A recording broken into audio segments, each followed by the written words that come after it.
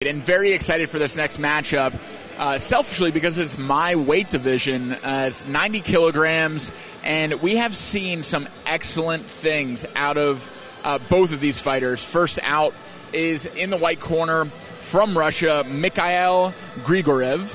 Uh, he is making his way to the ring right now, and his opponent, uh, who is uh, undefeated so far and has has done so with a very stoic, calm demeanor. Oh, he's uh-huh. uh, the the the, the man from uh, Kyrgyzstan, who I will not try to to attempt his last name, but Aknazar is uh, is already shadow boxing and warming up, ready for his name to be called after the Russian takes the stage. And I love the way he does his shadow boxing in his warm up. It's very minimalistic. Uh, it's uh, a little bit of the warming of the hands, maybe a little bit of a jog on, on the spot, but he's not he's not breaking a sweat yet.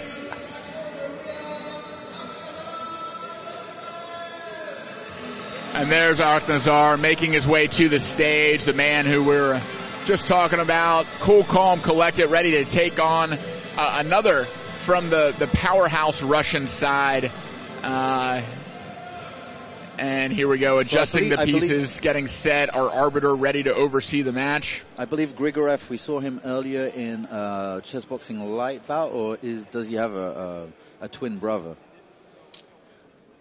Uh, we we had a uh, yes, yeah, we had uh, Mikhail taking on uh, Julio uh, from Italy, uh, and he is back already for his uh, championships final. All right. All Interesting right. opening, uh, C4. It's it is kind of yeah. It's because now he's going to play E4. It looks like an E4, E5, you know, a, a normal open game. But uh, with the pawn on C4, it creates this kind of um, uh, clamp on the center on that D5 square, and so. Um, we're going to be able to, to, to create some form of uh, space um, advantage that we're going to be able to keep on to and trading off the good bishop uh, for black. Trading off the good. The good bishop, just because the, the pawns are on the light squares, he had a lot of squares uh, that he can move and control. Uh, but the the the white oh, dark square bishop gets dark, uh-huh, trades sure, off sure, for sure, the for the good bishop for black. This this you see it quite often in the Italian. Here, I, I'm I'm not sure I would have recommended it, but at the same time, white now has a big uh, pawn mass in the center, and I would play a move just like Queen F3 and Castle Long, maybe just just to just to put some, you know, just to play some moves fast and to scare my opponent into a position that he's never seen before and he has to think about. Sure, yeah. So, so advancing the queen to the second rank is a good way to defend. Uh, maybe a little counterattack potential by moving it to the F file. Uh, so F3 played, defending the pawn, but also eyeing down that weak F7 square that we've talked about a lot so far in this uh, World Championship tournament. A few uh, fighters are losing from checkmate on that square early in earlier rounds. Obviously, the D5 square calling out for the knight to trample on it. He's trying to find a cool verb. Trample was a good one. Horses do that. They do uh, yeah, d5 looks like a, a, great move for the white knight to swing into, reinforcing that e3 pawn. Uh, and we'll see what kind of protection for the king both players have cooked up here. Uh, if we, uh, the white still needs to develop a lot if he comes over to the king side. Probably not a great idea given um, the pawn structure. Uh, but if he makes his way over to the queen side, it's already clear he could do it this move if he wanted to. I think he should just on principle. I mean, sometimes it, it's not the best move, but it's kind of calling out, and and you you know you have to respond to that. Now, some the D three pawn is also still uh, currently undefended. It's it's a it's a good target or weakness for black to start to mount an attack against. There, there is only one piece that can really attack that. It's the knight on c6, and uh, it's kind of easily defendable. So I'm not sure I would call it a weakness. Uh, nevertheless, uh, it's true that by castling long you do solve that problem. Yeah, not yet, uh, but there's the bell. Wow, that came up quick. I didn't hear the 10 second warning, but uh, the bell has been rung. Um, not not a clear advantage. No, I thought actually because last time we saw Aknazar, he was doing pretty well in the chess. He was very natural. As uh, Mikhail, for the moment, has been showing a few problems in chess. So I thought that it would have been pretty much one-sided, but this is not the case. I actually prefer white. A little behind on development from from my assessment. Uh, you know, I'd, I'd like to see some more minor pieces develops, uh, move some pieces back, or move a few pieces a, few, a couple times. Brought the queen out early, like you said. I, I think his chess in, in last and former rounds was uh, was a little stronger than what we saw in this first one, but uh, that was only the first round. Uh, we'll see how this boxing round goes before we get back to the chess. And this one, uh, the fighter's opting not to have any headgear, and that is uh, that is much to, to our Uh, uh, taste, delight yes. and entertainment. yes, uh, I think I think both of these fighters are good boxers, and uh, we're about to see a clash of, of 90 kilogram titans. But it is it is 12 ounce gloves. Is this? Yes, Is, yes, it is. Oh, so this is the real deal. correct. Uh-huh. Yep, 90 kilogram main event uh, regulations, meaning uh, we start on the chessboard and we alternate rounds between chess and boxing until checkmate or knockout. Time can also run out, uh, and stoppages and illegal moves count as uh, one out of three in a round or four in a fight to uh, to disqualify or TKO uh, the opponent. So this is not only the main event. This is the final of the main This event. This is the finals for 90 kilograms. We have, we will have a new 90 kilogram world champion. That, that was Um, that was a funny start, wasn't it? They were very very calm, and then all of a sudden something broke. And, And this is his style. Remember, he looks Yeah. very fluid, very easy going, and then he'll miss one and sting. You know that that old axiom, that quote from Muhammad Ali: "Float like a butterfly, sting like a bee." Watch this Kyrgyzstani, and you'll uh, you'll see echoes of, of Ali. Hands down, I think- baiting I that think Ali, headshot. Ali was floating a little bit more. Yeah, I mean, uh, just just wait till till a movement comes out. Yeah, different body types, uh, maybe maybe different movement styles, but There you go. uh, There he goes floating. There he's going floating.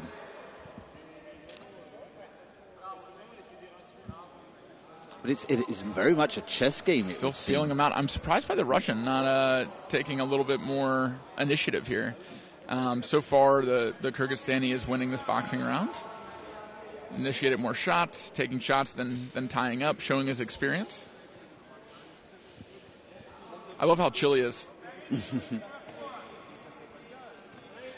uh, and, and big muscles on the Russian uh, can often signal like, oh, good athlete, or oh, going to beat him up. Uh, but to Carl's point in an earlier fight, those can wear you out. Uh, muscles Oh. can take a lot of energy out of out of the body. highly Um, overrated. and so it's maybe it's a good thing that the Russian is opa, opa, opa. pacing. Uh, he does a DDT, taking down the Kyrgyzstani, uh, which is not a boxing move. It And, definitely uh, isn't. Just in case you, you you know you're new to boxing, Uh, that is not allowed. Chess WWE coming to you soon in a Oh, I wouldn't be surprised. in a stadium near you. Uh, we'll get Jake Paul to to do a a match. well, Logan is the WWE. Oh, guy. Logan, I, I'm sorry. I'm Uh, sorry. Jake's Yeah, the Jake's the boxer, boxer. but both would be uh, They- they very fight each welcome. other. They would be very welcome in the chess boxing community. Jake Logan, if you want to come try out something, challenge not just your body but your mind. Do you know who I would love to have you. of, all the influences? Who? Andrew Tate. Yeah, he knows chess well. He knows chess. His, Yep. I, I, well, I knew his father's name before I knew his. Yeah. Yep. Emory Tate, Tate. uh, a, a chess coach and uh, pretty well known in the chess world, uh, and teaching his kids chess. So, Andrew, if you're listening, no? Yeah. If he can ever uh, leave Romania if you again. can leave Romania. but I will, I will come to a Romanian prison. oh, and have a chess boxing that, match. that would be cool. That would be fun.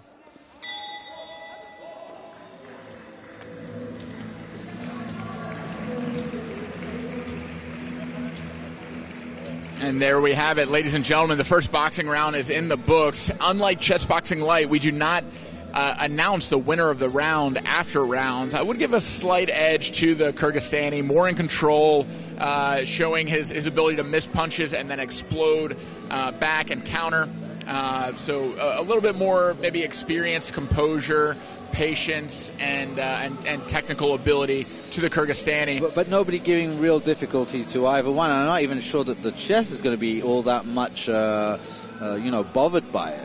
And with an equal match like this, it is a marathon, not a sprint. So uh, with these fighters pacing themselves in the first boxing round, I actually really like that. I think it's smart by both uh, to let the chess game develop a little bit more before uh, getting that kind of desperate urgency that comes from dumping all your energy Absolutely. in a boxing round because And it also affects the chess. And we don't see that very often. We do often see uh, somebody going for it, you know, as if they had something to prove. And it, it, it is refreshing to uh, to have a bit of a slower pace, a slower start to it. Okay. That's right. And uh, you gave me an idea, Carl. I'm going to tweet at Andrew Tate and see if he'll tune into the World Championship right now. Oh, dude, do that. So uh, talk about the chess for a little bit while my Twitter fingers go crazy. Okay, but I don't want to get him too scared about my chess level. you might say no. Um, okay, so that night b4 that Matt was mentioning earlier has been played, and so the d3 and and castle long has been played too. So we're predicting pretty well what's going on. Um, b5, that's that's a smart move. That's actually to open up the queen side, even if it's going to cost a pawn, because actually it's not even going to cost a pawn. You'd have to calculate. Things are getting a little bit messy here. Will he play a3 first? Because if he just takes, takes, takes, right, then a2 is hanging. So he's definitely going to get it back, and the white king is going to be a little bit in a in a war zone there. So my recommendation would be to kick the knight back. That's what he's done, and um, take it from there. Um, I think that the black's next move is kind of obvious. It would be to kick back. And um, still, again, if you take it, you're opening the B file. Um, it's it's, um, it's I think that's it's a very good way of dealing with the position. Is not touching the side of your opponent's attack. It's doing it on the side of your own. So he didn't touch anything. He doesn't have to touch anything. Sure, the pawn structure is going to be a little bit weird with those. Once once an exchange happens on c4, you're going to have double pawns on the e file. But those actually defend a lot of squares. Um, so e3, f4, d5, f5. And it reminds me of an article I wrote on the uh, Chinese school of chess, which is all about space and squares. Um, uh, a, a, game of Lu Xiongwei, I think, who, who won the Novi Sad um, uh, championship in 2016. So, um, but Black hasn't castled. He hasn't given the address of his king yet. So it's it's kind of uh, a bit of a western, a bit of a, um, a showdown here. Um, I like the knight being on d5 also controls the b4 squares, just in case that pawn does advance. Maybe we can just grab it off the board, and uh, rook a1 check would not be all that um, dangerous, seeing as there's only one piece in attack and it's going to immediately be swapped off. Black does castle, and I think that actually he didn't have all that much of a choice. Obviously, he's castling into the attack, but um, at the same time, where did you want to go? Did you, if you want to just stay in the center, you're going to have a lot of problem flowing with your pieces, connecting those rooks. So Yeah, so in terms of king safety, it looks like black uh, ha- has uh, a castled king, three pawns, but not many defenders over on that side of the board. And those those uh, G, and, uh, G and H pawns are creeping their way down the board. And uh, already starting to be under attack is the, the white king on the queen side. What I really liked was the bell went, the ref stopped the clock, but both of them were still looking at the board like, hmm, interesting. it is a very interesting position. Uh, it really anything that could still happen at this stage. Um, both kind of knocking on the door of, of attacking the opponent's king. Uh, but we will get to see another boxing round, and let's see if the energy picks up uh, in any way from e- either the Russian or the Kyrgyzstani uh, side here. Um, would love to see a little bit more risks being taken for, for both. I, I, I think Kyrgyzstani took more last time and was rewarded for those. I think he edged out winning that round. Uh, but I, would like to see this Russian use his athleticism, try to create opportunities for himself, and score some points. I think risks, yes. Uh, picking your spots, yes. But I, am actually kind of happy that it's not, you know, full brawl 100% of the time because the guys are saving their energy for the chessboard. And I think that this is this will be the future strategies when you're going to respect your opponent and everybody kind of has a, a full package, you know, like in MMA compared to the when it started out and then it evolved, so everybody kind of had a, you know, decent grappling, decent striking, decent taking down. Here it's the same thing. Everybody's going to have like decent boxing, decent chess, and it is going to be much more, um, you know, much more respect given and uh, much more going all in with your energy and then regretting it later sure, on. Sure, and that's where the iterations and the evolutions of the sport come. But uh, let's get into this boxing action. A good jab to the body landed by the Kyrgyzstani. Uh, just a searching jab, kind of uh, feeling f- almost like a feint, uh, seeing any kind of reactions from the Russian fighter. Russian overreacting to some of these feints from the Kyrgyzstani so far. You see uh, too much movement when that jab comes um, and that, that are telegraphing. I, I, definitely think the experience and the composure advantage is going to the Kyrgyzstani. I believe so too. I, I, another thing is as soon as the Russian gets hit, I believe he resets rather than actually take it and, and counterpunch immediately. And you have to do that. Yeah, he's, he's stiff. He's muscling his punches. Uh, whereas the Kyrgyzstani, just like that beautiful one too, he's snapping his shots. Uh, he's making them unpredictable. Uh, he's very loose. I just like it. The, the you know his composure. The the he, he, he's not he's not panicked right now. I mean, fighting with his hands down because he can see these stiff punches coming from a mile away. Good jab to the body lands for the Russian now. One another one-two lands clean on the chin of of the Russian Kyrgyzstani. Uh, we're definitely winning that exchange. I'll, I'll take a jab to the body for a one-two upstairs and, and you see that when he throws the right, it is actually coming from upstairs, even though the, the hounds are down. It is coming straight from, from there, so it's it's coming from different angles. And uh, good hef- left hook lands for the Russian and gets a pop from the Russian supporters. Yeah, th- those hands down there, they're very awkward because, you, you, know, you can come up and punch, you can punch from down there, you can bow down and punch from an angle. An uppercut hook combo lands for the Russian. Uh, referee from Latvia separating and restarting the, the, the match after it. Great cross, uh, not, not landing flush, but uh, landing on the Kyrgyzstani chin. Nice snappy jab.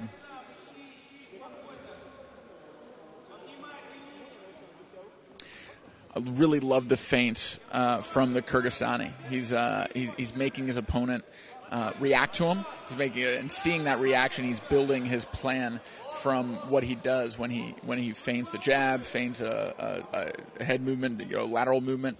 Uh, it's really high level boxing. He's also playing with the nervous system of his opponent. I remember Georges St. Pierre talking about that. That in the first fight with uh, another famous MMA fighter, he he he thought that he was so fast that he would beat him to the punch, and basically they realized on video that the guy was, was better at that, and so he started feigning a lot, and, and the guy just tired very fast because of his nervous system. So feigning is is really a, a big component of boxing strategy. Mm. You can't just it's not everything is you know spot on all the time. If you don't mix it up, it's a bit like in poker. If you don't bluff at least 20% of the time, it means you're just going to be predictable. It's true. feigning is a great way to download information from your opponent. Uh, it's a great way to keep your opponent on on the reactionary side, on the heels, uh, and, and and to set up shots. Because sometimes you feint, sometimes you actually throw it, and your opponent could be lulled asleep by feints and then catch a jab, catch a combo that they weren't expecting. But here we go. We are making our way back over to the stage where the chessboard is set up and in the same position as when they left. Uh, Kyrgyzstani putting back on a coat, staying warm, uh, and Russia following suit. Here they come back to their seats, headphones coming back on.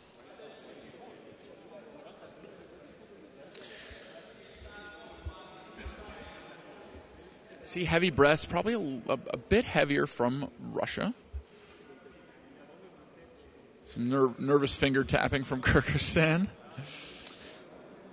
Is this the position? This is not the position.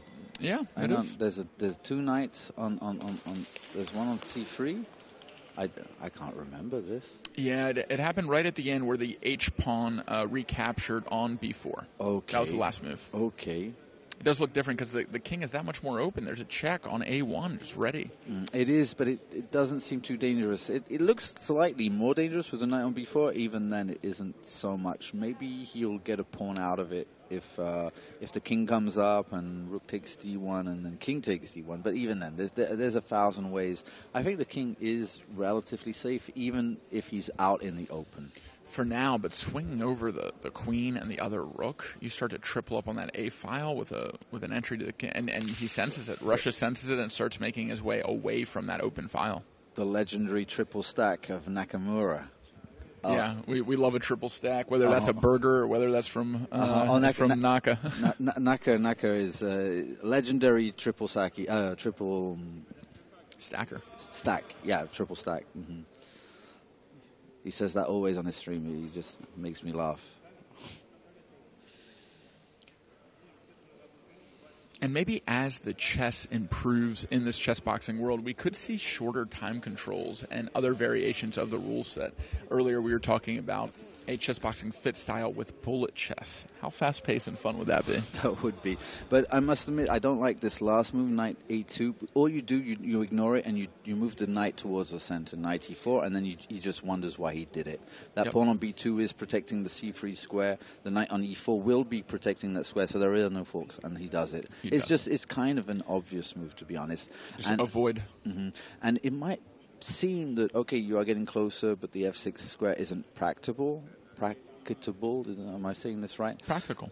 Mm-hmm. Um, no, but you, you, you actually might want to, um, to to go on it, you know, to use it and um, praticable in French. That's the word I'm looking for, but I'm not finding it. And so interesting move combination. We we do have the uh, the C1 square open for a check now, uh, and that pawn on d5. And then, the, the, well, the d3 pawn could fall. Okay, he's opting to go back instead of forward. Mm. I would have. I might have looked a little bit closer into using some kind of pin, some kind of to get that knight on f6 and, and, and the king mated. I, I would feel a sense of urgency, but that's well, uh, our, our Kyrgyzstani is in the driver's seat here with with about a minute advantage on the clock. That's very uh, much true, and I really like his last move because he's opening up uh, a file that's going to be in the center. That that white king now, I would say, is m- definitely much weaker than the, the, the black one. Yeah, I, am I'm curious why uh, white hasn't been more aggressive with that G and H pawn, uh, putting a little counter pressure onto the black king and starting to peel open that pawn wall that he has in front. Well, the knight once it was uh, established on e4, it was kind of eyeing the f6 square and a sack, you know. So, and also this f5 move, this this uh, pawn lever, this liberating move that uh, the the Kyr- Kyrgyzstani has just played. It wouldn't have been possible because we could take en passant and the knight would be there for the rook not to take back. So, um, I think I think that yeah, White is slightly losing the plot.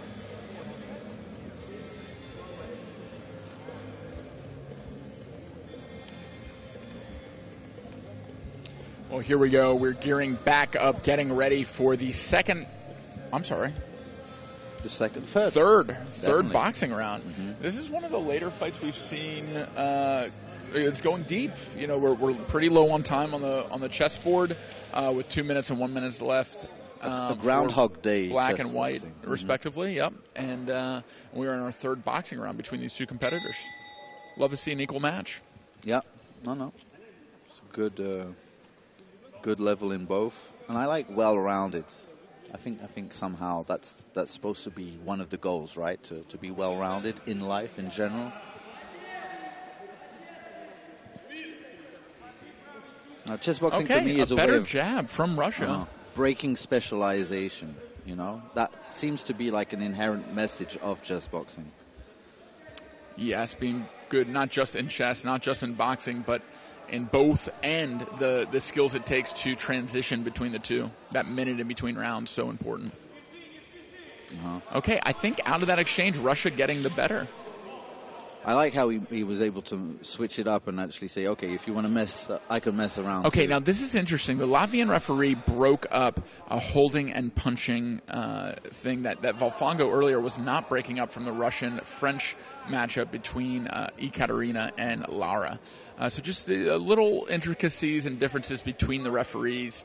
Uh, neither is right or wrong, but uh, ha- had the Latvian been overseeing that one, might have gone a little different because a lot of damage was done to Laura while she was being wrapped up. Definitely, definitely. I I, I, I did see that. I, I do. Well, I remember holding on to to other to people's gloves, and I, I, remember one of my first fights being uh, in in that situation, and, and the ref should stop that. Yeah, you're you're not allowed to hold and punch at least at least in American chess boxing, so I, or in American boxing.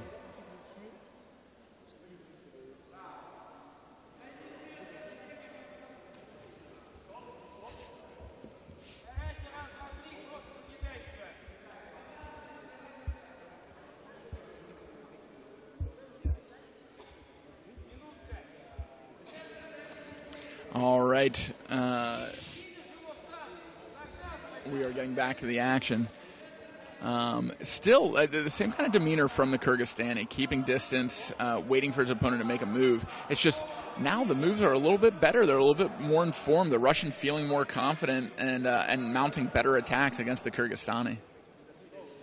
But a lot of these seem to be just ending in clinch after clinch after yeah. clinch. It's uh, I, I, wish I'd see a little bit more pivoting, lateral movement, avoiding the clinch, and, and using it against the opponent, one side or the other here. But what what's strange is they seem to ooh, both. That's a legal punch. Yeah. That's a legal punch. He just expected the clinch. Exactly what I was just saying. He, uh, he he used expecting the clinch to break apart and then throw a shot, and and it landed clean and flush for Russia. Probably the best punch he's landed so far.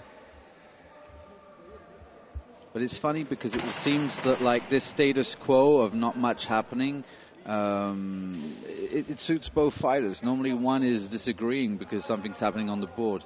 I think that maybe the Russian doesn't realize that the tables are turning on the board and uh, both believe in their chances.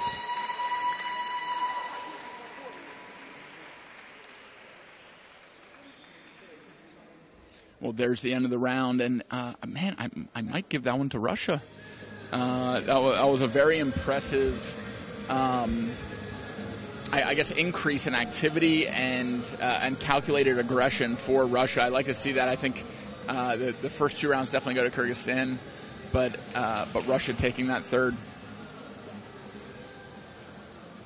So is this the last round of chess now? Because it's is it seven rounds? No, it's it's three minutes. Uh, so so regardless, one of the players will run out of time before the end of this chess round.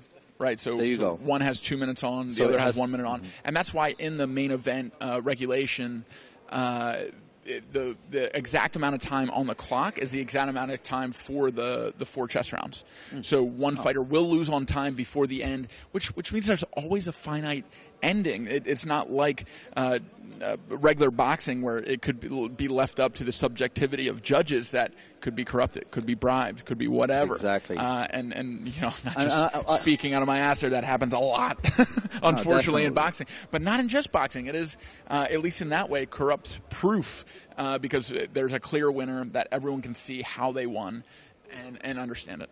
I also like it on a symbolic level, just that countdown, that catastrophic, you know, tick tick tick tick tick. tick exactly. That's right.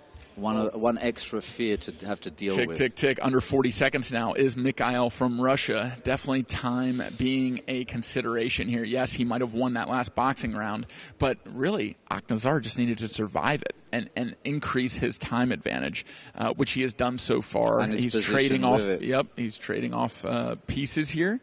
Um, so exchanging a pawn, uh, getting a check with a tempo, advancing his, his pawn all the way to uh, now the third rank, and uh, and yeah, I mean we could see protected passers here. That queen f5 was the move I would have suggested. There's a threat of mate in one uh, that he hasn't seen.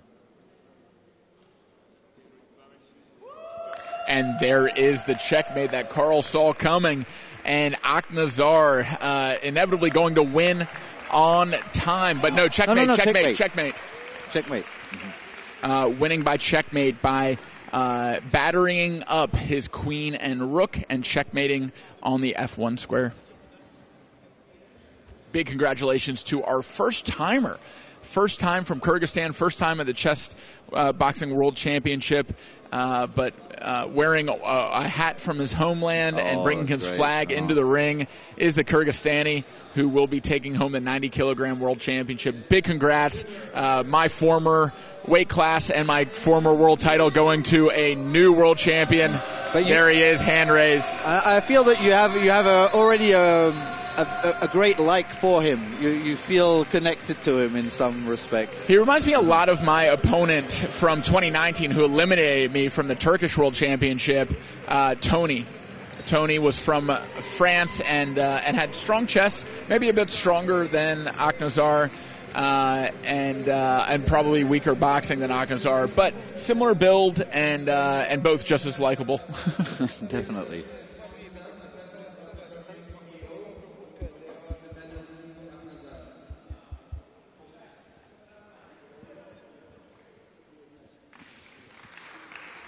And President Montu Das awarding the medal to Aknazar. Uh, Aknazar taking the uh, first place position in the 90 kilogram weight division, and that medal will be going home along with his hat and flag to Kyrgyzstan.